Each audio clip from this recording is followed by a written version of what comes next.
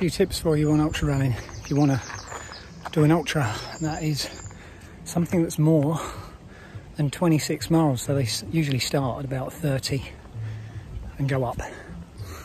Tip one, it does involve walking. Don't be afraid to walk, especially uphill. On an ultra, you've got to conserve as much energy as you possibly can.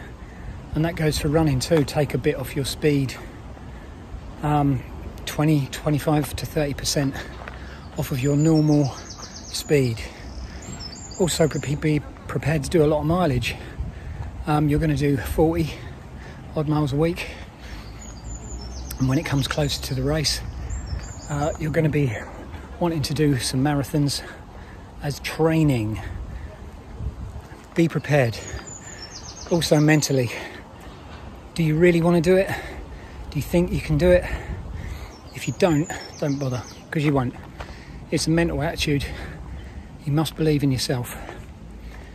Also, food and drink, you've got to carry quite a bit of stuff with you.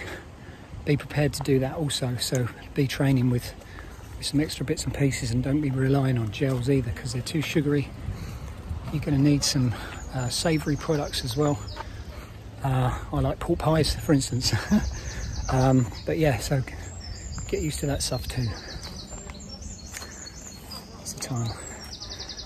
So, yeah, there's a few tips for you. If you still want to do it, good luck. DM me, I'll give you some more tips if you want to ask some advice. Sure thing, no worries. But enjoy your running. Happy trails.